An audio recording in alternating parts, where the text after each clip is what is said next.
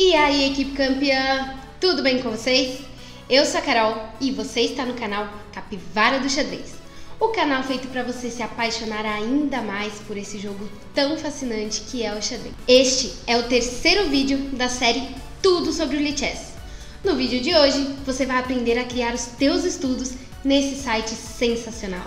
Então, já se inscreve aqui no canal para ficar por dentro de todas as dicas sobre o Lichess. E compartilhe esse vídeo com aquele seu amigo que também precisa dessas dicas, beleza? Enquanto isso, eu rodo a vinheta.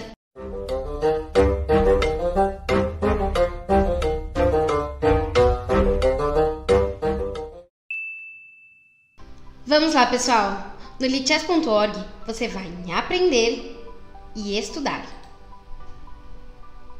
Você clica nesse botão verde com símbolo de mais. E vai abrir a tela de criação do estudo. O estudo é importante porque você pode salvar o seu treino ou um treino que você vai fazer com algum aluno. Nessa tela, você coloca o nome do estudo.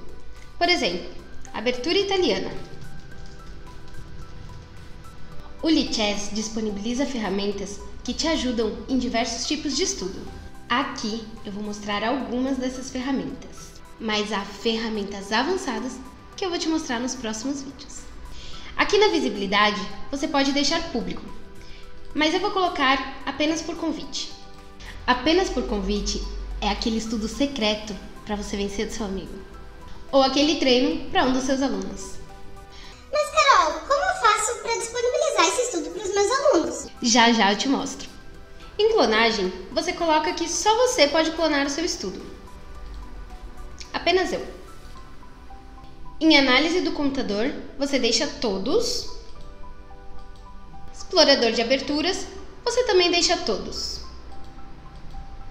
No chat, você coloca que só você pode enviar mensagens. Apenas eu. Clica em iniciar. Você tem que imaginar que esse estudo é como se fosse um livro, só que online. Tal como um livro, tem seus capítulos.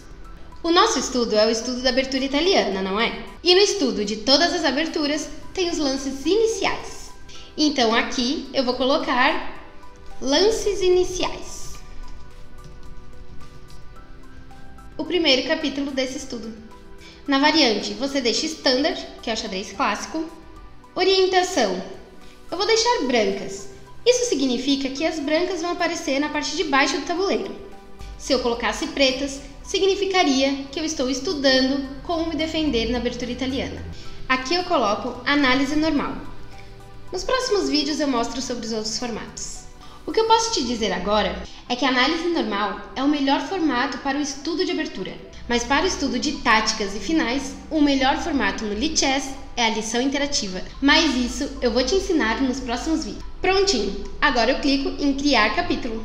E como esse capítulo é sobre os lances iniciais da abertura italiana, eu vou fazer aqui E4, E5, cavalo F3, cavalo C6, bispo C4. Essa é a abertura italiana. Aqui embaixo você pode escrever, aqui nos comentários, abertura italiana, lances iniciais. Seu estudo poderia ser sobre defesa siciliana, defesa carocã, defesa holandesa. Esse é só um modelo para te ajudar. Agora vamos ao capítulo 2 do estudo. Variante Bispo C5. Adicionar um novo capítulo. Variante Bispo C5.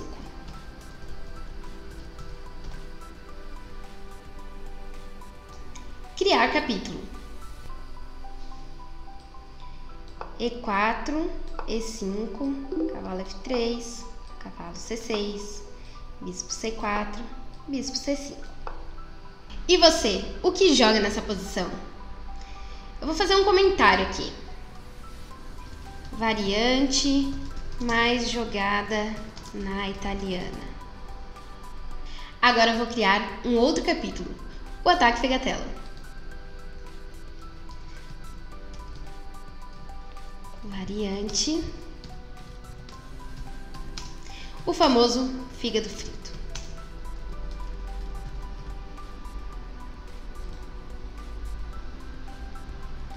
E4, E5, cavalo F3, cavalo C6, bispo C4, cavalo F6.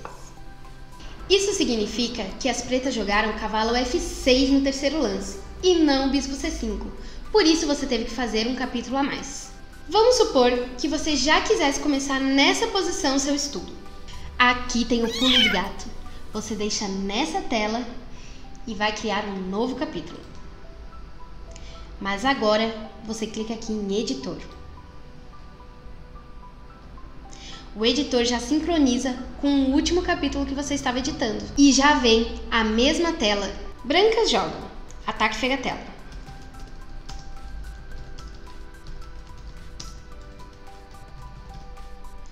E aqui você coloca brancas jogam. Vem mais um pulo do gato aqui. Modo de análise, pratique com o computador. Criar o capítulo. Mas Carol, por que nesse capítulo eu tenho que colocar pratique com o computador? Equipe campeã, olha o que acontece agora. Cavalo G4. Peão por peão. Bispo cheque. Peão por peão. E dama F3. Assim, você descobre se você ou seu aluno sabem jogar essa posição e o estudo se torna efetivo. E para compartilhar esse estudo com seus amigos, com seus alunos, você vai aqui em membro, adicionar membros. Você precisa saber o nick das pessoas aqui no Lichess. Capivara Bond. Pronto, o Capivara Bond vai receber uma notificação do estudo. E aqui ainda tem um detalhe. Você pode deixar ele como colaborador ou não. O colaborador é aquele que vai poder editar também os seus estudos. Para isso, precisa apenas ativar essa bolinha aqui e deixá-la verde. Ah, e fala para o seu amigo ficar atento aqui nesse sininho do Lichess. É esse sininho que vai avisar que ele recebeu uma notificação do estudo Agora você já sabe como criar o seu estudo no Lichess. Nos próximos vídeos eu vou te ensinar a fazer estudos de tática e de finais. E depois de estudar, nada melhor que um bom torneio, né? Você já sabe fazer torneios no Lichess? Se não sabe, clica aqui, tá? Já se inscreve aqui no canal para você aprender tudo aqui comigo. Eu vou revelar todos os segredos do Lichess. Eu sou a Carol e esse é o canal Capivara do Xadrez. Beijos, até o próximo vídeo.